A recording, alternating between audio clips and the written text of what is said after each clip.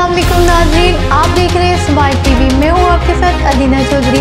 बढ़ते हैं आज की अहम खबर की तरफ़। जिला इंतजामिया टोबाटेक सिंह के जेर तमाम योम कायद अजम के हवाले से जिला कौंसल हॉल में पुरवकार तकरीब तकरीब district police officer, Ibadat Nisar, additional deputy commissioner revenue Malik Abbas, Zulkar Awan, deputy director development Ahmed Jawad, सरदार चीफ ऑफिसर, जिला कौंसल डिस्ट्रिक्ट इंफॉर्मेशन ऑफिसर, जिला इंतजामिया के अफसरान, सिविल सोसाइटी मेम्बरान अमन कमेटी और मीडिया नुमाइंदगान की शिरकत। यू दी हमें आज़ादी की दुनिया हुई हैरान। ए कायद आज़म, तेरा एहसान है एहसान। आज़ादी से ज़्यादा कीमती कोई चीज़ नहीं। बहसीत कौम आज़ाद वतन में सांस लेने पर हम कायद अजम मोहम्मद अली जीना का अजीम एहसान कभी फरामोश नहीं कर सकते। कायद अजम मोहम्मद अली जीना पाकिस्तानी कौम के असल मौसिन हैं। आज भारत में मुसलमान की हालत देख कर आज़ादी की कदर बढ़ गई है। आज बतौर पाकिस्तान ईमानदार इतिहाद और तंजीम पर अमल करना होगा। मोहम्मद अली जीना का योम पैदाइश काबिल फ़खर कौम के वजूद में आने का दिन है।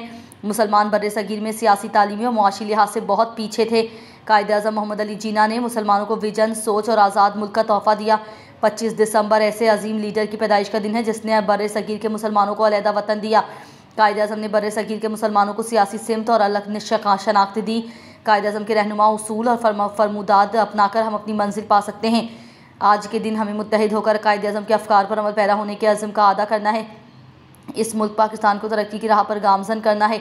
तकरीब में स्कूल के बच्चों ने योम विलादत कायद अजम के हवाले से मिली नगमे पढ़े और टैबलो पेश किए। आखिर में कायद अजम की सालगिरह का केक काटा गया और मुल्की सलामती के लिए खसूस दुआ भी की गई। खबरों का सिलसिला जारी रहेगा। जुड़े रहिए समाई के साथ। मिलते एक छोटी सी ब्रेक के बाद।